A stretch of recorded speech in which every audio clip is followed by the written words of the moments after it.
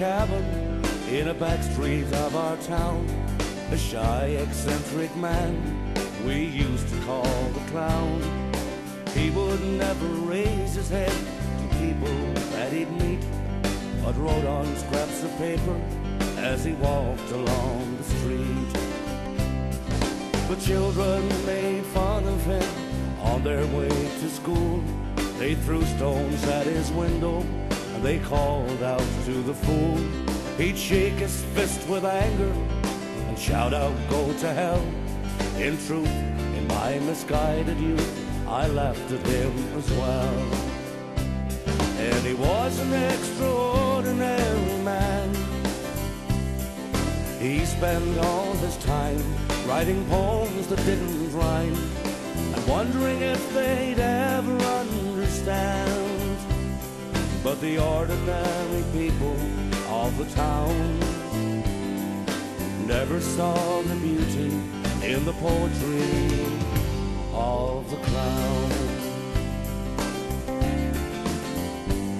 One day I saw him walking with a girl I used to know on a back road by the river where lovers used to go.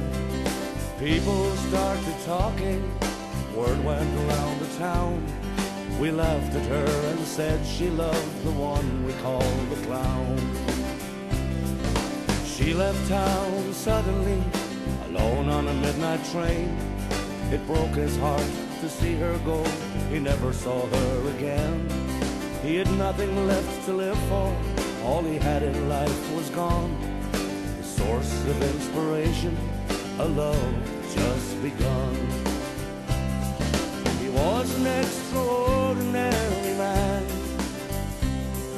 He spent all his time writing poems that didn't rhyme and wondering if they'd ever understand.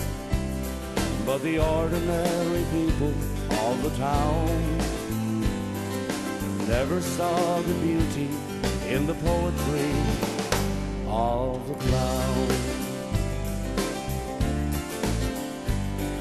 He died for want of living, a lonely, saddened man, rejected by his society that didn't understand his poems and inspirations, his words that didn't rhyme, were scattered round his cabin by the lonely winds of time.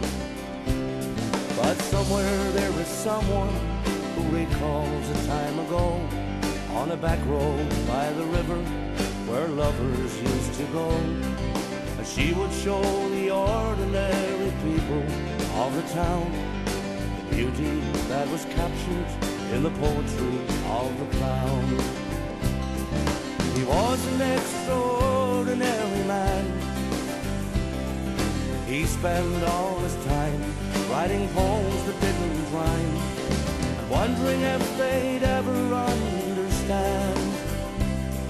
The ordinary people of the town never saw the beauty in the poetry of the.